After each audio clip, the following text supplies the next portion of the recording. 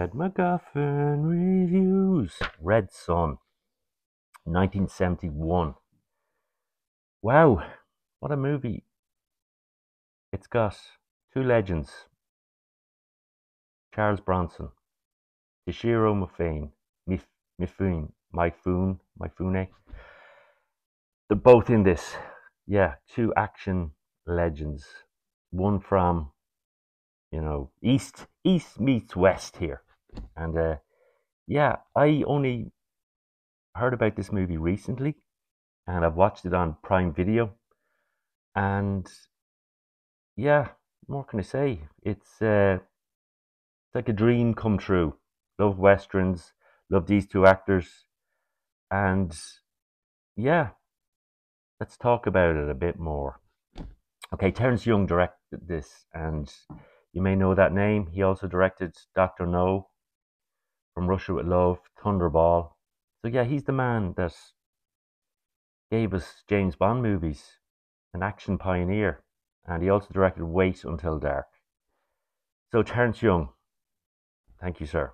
Um, and this is a good movie. It's no classic like uh, those three James Bond movies, but it's it's great to see these two actors together in a western. I mean, the connection. There's a lot of connections in this movie. We have Charles Bronson, who was in a remake of a movie Toshiro was in, Magnificent Seven, Seven Samurai, brilliant action movie.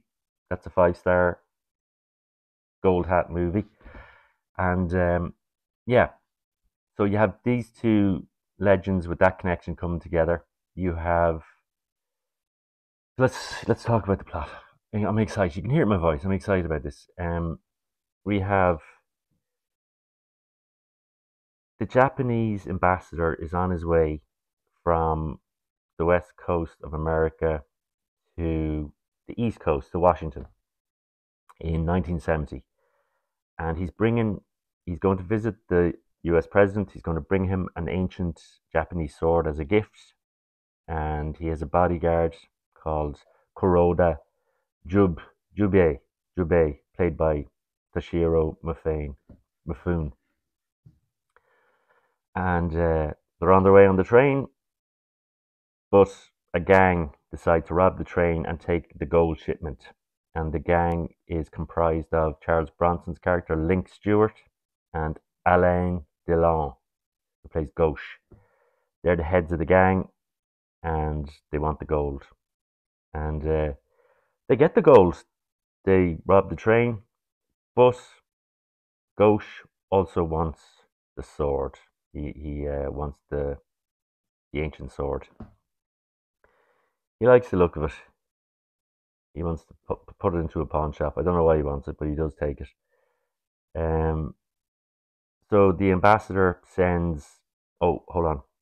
Gauche betrays Link and uh, leaves him for dead um, tries to use dynamite to blow him up. So Link is left there, and Gauche heads off with the gang and the money. And uh, Go, uh, Link su- survives, of course, and the, the Japanese ambassador wants him to go with Kuroda and get the sword back, and uh, whatever way they can, and they have a certain amount of time before uh, the ambassador gets to Washington. So if Kuroda doesn't succeed, he's going to have to do the the hara-kiri on himself. And uh, yeah, there's a there's a bit of a time scenario there where he, he has about seven days to do it. And uh, yeah, this is a good watch. This was enjoy. It's no classic. It was enjoyable. It's great to see these two actors um together and uh, their characters over the while they're while they're trying to get their hands on Gauche, Bond, and uh, well, try to well. The thing is, uh, Link wants doesn't want to kill Gauche until he finds out where his cut of the money is, or the money, or the gold, and. Uh, but Kuroda wants the minute he, he sees Gauche, he wants to kill him. He's he doesn't want to ask him any questions about gold. He wants to. So there's a bit of a, a battle there about you know. You have Link side and you have Kuroda side. One wants to kill Gauche, the other wants to use him to get the gold. And um, they set out through the west, but to, you know, they haven't got horses at the start, but they have to go and get horses. And they come across Comanches and they get their hands on Gauche's girlfriend, Christina, played by Ursula Andrews. And there's an also a connection between Ursula Andrews and the director, Terence Young, and Dr. No. And uh, another connection there. So let's talk about Charles Bronson. He was also in the Death Wish movies, which are great. Um, Once Upon a Time in the West, Magnificent Seven, Great Escape, Legend. A lot more movies, a lot more great movies. Toshiro Mifune was in Akira Kurosawa movies, um, Yojimbo, Rashomon, Throne of Blood, High and Low, and uh, yeah, so and he's in one of the best samurai movies ever and best action movies ever, Seven Samurai. And uh, Alain Delon, who plays Gauche, was in Le Samouraï. Haven't seen that. I want to see that. The Leopard, L'Eclisse, and Plein Saut. My French isn't so great. And so yeah. Oh, so I suppose a little samurai connection there, but the samurai movie isn't. It's about a hitman. It's not about the samurai from Japan. Ursula Andrews, Doctor No, Casino Royale, The Blue Max, and Clash of the Titans. And uh, yeah, so she was in two James Bond movies. Yeah. One directed by John Huston, Casino Royale, and they got her back then to being Doctor No. Hmm. Interesting. Okay. So yeah, the two boys go on a manhunt, trying to get the sword back, trying to get the gold back. They bond in the West. They have funny adventures. They become friends. And yeah, they they get Christina. They deal with Comanches, and who survives at the end? I won't spoil this.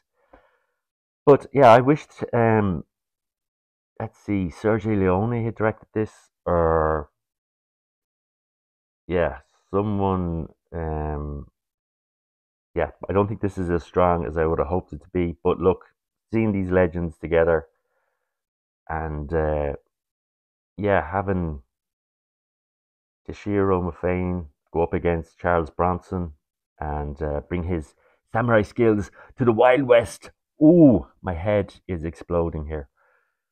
So yeah, Red Sun, 1971. Check it out. I don't know where to get it a three or four. I mean, it gets a three for just the story being a bit mediocre. Um, I wish the dialogue was a bit better. But look, I think I have to give it a four because all the legends in this. Terence Young directing. We have Charles Bronson. Uh, anyway, all I talked about. So yeah, check it out. I watched it on Prime Video and I'm going to have to get my hands on it on Blu-ray or DVD because it's yeah, it's great. It's great just to see because yeah, as I said, recently heard about it and I had to watch it, and it's a good watch. But as I said, no classic. And uh, yeah, but it's a definitely a very good Sunday afternoon, you know, western to watch. And yeah, I like that genre. Okay, Fred's enough guff. Fred's going. Fred MacGuffin is finite. Finite. Finite. Finite. Finito.